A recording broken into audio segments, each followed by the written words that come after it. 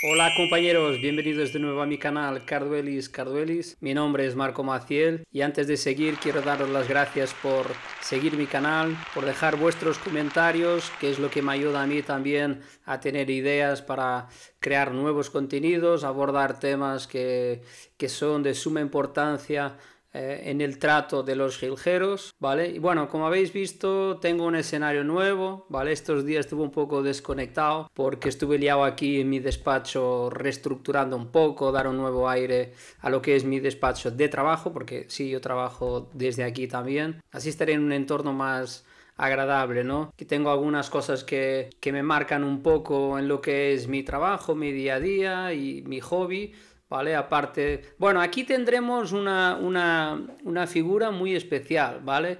En breve tendremos eh, un compañero nuevo que se llama Espantapájaros, lo pondré ahí, ¿vale? Sabéis lo que es un espantapájaros, ¿no? Eso que se pone en el campo para espantar, pues en breve lo tendremos aquí. Este va a ser un amigo muy, muy crítico, lo tendremos aquí para para aportar su crítica constructiva ah, y opiniones sobre, sobre esto. Ahí tenemos mi primer ordenador, un Spectrum ZX 2, ¿vale? Con cintas, imaginaros a la época, hace muchos años. Ahí tengo una raqueta de pádel, de corcho, porque me gusta mucho jugar a pádel cuando puedo, no siempre, entonces lo tengo ahí. Y aquí arriba tengo la matrícula de mi moto clásica que tengo, una vieja del 73. Cuando le hice la documentación, pues me guardé la, la matrícula antigua. Bueno, antes de seguir, quiero una vez más invitaros a que si aún no sigues mi canal, te suscribas. Si te gusta el contenido dejas tu me gusta y si quieres que yo aborde aquí algún tema o quieres dar tu opinión, deja tu comentario al final del vídeo y me ayudarás también a crear nuevos contenidos o algún tema que, que creas necesario, que si me está escapando y, y es de suma importancia porque al final entre todos podemos aportar y hacer engrandecer lo que es el hobby de los jilgueros y otras aves, porque yo tengo otras aves que no solo jilgueros, tengo canarios, carnalitos, negritos de Bolivia, así que todo lo que yo diga en este canal no se aplica solamente a jilgueros, lo podéis aplicar en cualquier otra ave silvestre que tengáis. Hoy no tenía un tema eh, predestinado para hablar, ¿vale? Era un poco pues para volver a conectar con vosotros, a estar presente en mi canal y presentaros nuevo escenario, ¿vale? Que es también mi escenario de trabajo. Pero visto que esta última semana eh, tuvo algún comentario por WhatsApp solicitando qué es lo que yo veo a mis giljeros para que tengan una máscara pues con ese rojo sangre o, o rojo vivo, ¿no? Eh, y no sea naranja o, un amarillo así muy deslavado, ¿no? Bueno, pues bueno, ante todo quiero esclarecer y dejar aquí claro algunos puntos que hay que tener en cuenta para, para el color de, de, la máscara. Quiero aclarar aquí un par de, de, de, cosas porque esto va a influir sí o sí en lo que es el color de la máscara de vuestros jilgueros. Tener en cuenta que si tenéis jilgueros que, que son cabeza blanca o portan cabeza blanca, ¿vale? Esto va a afectar lo que es eh, la coloración de la máscara. El cabeza blanca normalmente no, si utilizas uh, un producto a base natural de, de tajete, por ejemplo, para, para, ganar color, nunca va a tener un color rojo vivo sangre, ¿de acuerdo? Que quede claro esto. Para tener un color rojo vivo sangre, tiene que ser un clásico puro o que descienda de clásicos puros y prácticamente sin el factor cabeza blanca dentro.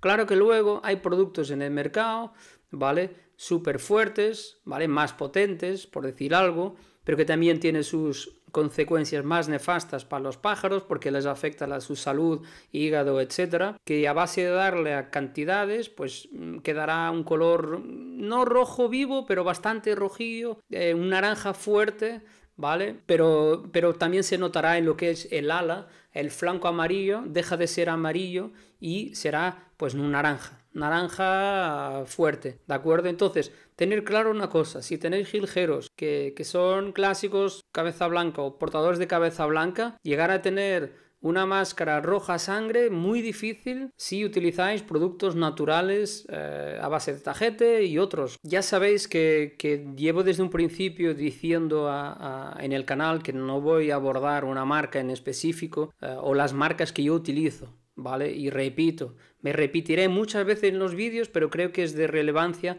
dejar claro esto. No soy patrocinado por ninguna marca, no busco eso tampoco, pero creo que es una responsabilidad nuestra que publicamos contenido, tener atención a lo que digamos siempre como marcas y productos, porque lo que digamos nosotros muchas veces hará con que algunos, ¿vale? Cambien todo lo que están haciendo en busca de lo que nosotros hacemos y obtener los mismos resultados. Y vosotros debéis saber, ante todo, que cada aviario es un mundo, cada tiene su propio estilo de llevar los pájaros, entonces lo que a mí me funciona en mi casa no quiere decir que funcione en la tuya, ¿vale?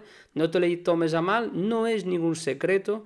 De hecho, mucha gente que me lo pregunta, yo se lo digo eh, de manera privada lo que utilizo, no tengo ningún secreto. Este canal no se trata de tener secretos o, sobre todo, no se trata de que yo obtenga suscriptores o gente suscrita al canal a base a mentiras o historias raras o vender humo, ¿vale? No, el que me quiera seguir me sigue, el que no quiera seguir no me siga, no es ningún problema, ¿vale? El objetivo del canal es compartir lo que yo hago con vosotros, aprender también de vosotros, que yo evidentemente no sé todo, comparto lo que yo sé y si esto os puede ayudar, pues de puta madre y tiramos para adelante el canal, ¿vale? Pero no quiero, como alguno seguro se lo ha pensado o se lo pensará, de que yo me guarde el secreto de las marcas o los productos con la afán de que mis hijeros serán guapos, tengan esta marca tal. No, si me preguntas por privado te digo cuál es el producto, no hay ningún problema. ¿vale? Ahora no lo haré públicamente porque ya os dije, no soy patrocinado por nadie, no tengo por qué estar haciendo publicidad gratis a ninguno y no quiero influenciar a una masa de gente a hacer lo mismo que hago yo porque esto suele ir mal, bastante mal. Y lo digo porque me ha pasado por experiencia cuando empecé, tú te acercas a algunos, buscas información y haces lo mismo. Cuando no sabemos, estamos empezando, claro, te tienes que apegar a todo lo que encuentras, es normal. Pero hoy en día, con tanta información que hay, con tanta gente que hay, si te acoges las buenas personas, mm, no necesitas hacer muchos cambios bruscos en tu aviario para que te funcione mínimamente bien. Que quede claro, no es un secreto, no tengo secretos, no se trata de, de vender humo para tener más suscriptores, se trata así de que la gente no siga en masa lo que yo diga o las marcas que yo diga y haga un cambio radical en sus aviarios. Y, bueno, y yendo al tema, yo les doy un producto natural a base de tajete, ¿vale? Y otros ingredientes que vienen en, en el mismo producto, ¿vale? También les doy a veces zanahoria, también les doy eh, pimiento rojo y obviamente también les doy tajete en flor, flor natural, que tengo bastante fuera del aviario, como podéis ver en estos vídeos en este momento, donde estoy con, el jilguero en la mano y fuera de mi aviario, pues tengo alguna, alguna flor tajete y, les, y les doy naturalmente. Es conveniente recalcar y relembraros también para aquellos que no lo sabéis que el cambio de, de la, o sea, que la coloración no es inmediata. O sea, no es algo que empezáis a dar eh, hoy o mañana o después y al cabo de poco tiempo vas a ver el resultado. No, no, esto lleva su tiempo, ¿vale? Hasta que su organismo absorba todo aquello y empiece a funcionar la pigmentación, etc. No os aconsejo a querer abusar en la dosis recomendada de esos productos, ni mucho menos, porque no será benéfico para, aunque dicen natural o digan natural al 100%, eh, todo en exceso, en mi punto de vista, es dañino. Entonces, seguir bien las instrucciones, no abusar de dosis, Tranquilos que con el paso del tiempo recupere el color y llegará el color que os gustará seguro, ¿vale? Lleva su tiempo, ¿vale? No, no quedéis estresados de que no veis ningún cambio, que llevas un mes, no ves nada. Bueno, a veces hasta te pueden pasar dos meses. Y os diría más, os diría más. El color más bonito para mí y más perfecto, por decir algo, es cuando llega ahí a Navidad, enero. Ahí empieza a quedar el verdadero color, ¿vale? Y el pájaro ya preparando para la cría y el color es, espectacular. Ante todas las cosas, por favor, mantened la calma, ¿vale?